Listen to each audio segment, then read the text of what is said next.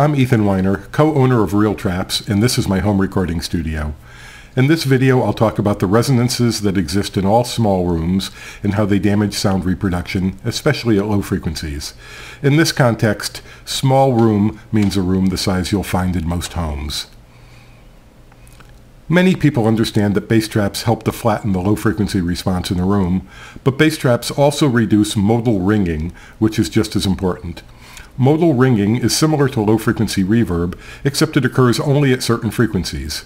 This is different from true reverberation that requires a large enough space and long enough decay time for multiple echoes to develop and fuse together into a single coherent sound. Although modal ringing and reverb are both related to the decay time in a room, modal ringing occurs only at a room's resonant frequencies. Modal ringing causes certain bass notes to sound louder than others and to sustain audibly even after the bass player stops playing that note. Ringing is created by room resonance, and it causes bass notes to conflict with each other, making it difficult to discern which notes are being played. Ringing also causes what's known as one-note bass. No matter what note the bassist is actually playing, in the room they all sound more or less the same. Muddy, boomy, and poorly defined. You can hear that something is going on down there, but it's difficult to pick out the individual pitches. For the purpose of this presentation, I'll use an audio editor program to play tones that are higher in pitch than the resonances that occur in a room. I'll then use an electronic filter, an equalizer plugin, to apply varying amounts of resonance. By using a higher frequency, you'll be able to hear what's going on without the sound being affected by the room you're listening in. Please understand this is not a contrived test, because a small room is a filter. Just like an electronic filter, a room enhances and suppresses some frequencies more than others, and also causes some frequencies to sustain for longer than others. Most people understand the relationship between the size of an object and its natural resonant frequency. Each of these plastic blocks has a resonant frequency, and the larger block's resonance occurs at a lower musical pitch.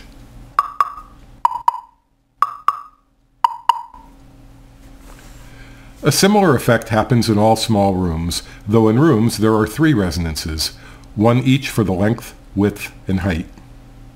For this demonstration, I've created an audio file that contains some brief click sounds. A click is useful to show how resonances are excited because a click contains all frequencies. This way you can hear what happens as different frequencies are emphasized by the resonance of the filter. Here's what the click sounds like alone.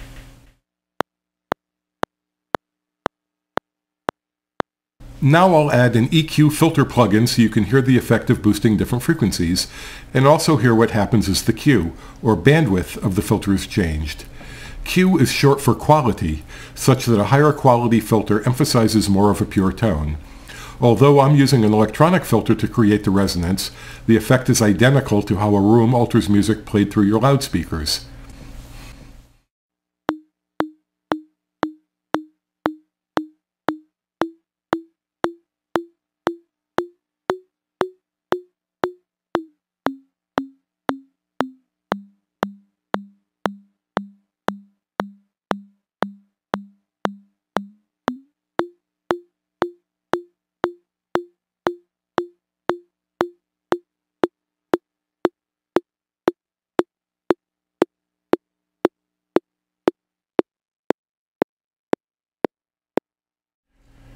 As you can hear, adding a resonance boost with a filter imparts a specific pitch to this click sound, and increasing the filter's Q makes the note ring for a longer time and makes the pitch more pronounced. I'm adjusting the filter so you can hear the change in frequency in Q. As the Q is increased, the range of frequencies boosted is made more narrow, so the tone becomes more clearly defined. Now I'll apply the filter to the file so you can see how the click waveform changes, Here's how the wave looks with a fairly low Q. Notice how the wave is now extended at each click as the ringing caused by the filter decays. Now I'll set the Q to an even higher value and apply that to the file so you can see the difference. You can see that with a higher Q the wave sustains for an even longer period. In a room the Q is determined by the stiffness of the walls, floor, and ceiling. Now let's look at some graphs made using the ETF software. ETF is a great program because it shows not only the raw low-frequency response of a room, but also the Q of the room's resonances and how quickly the peaks decay at each frequency.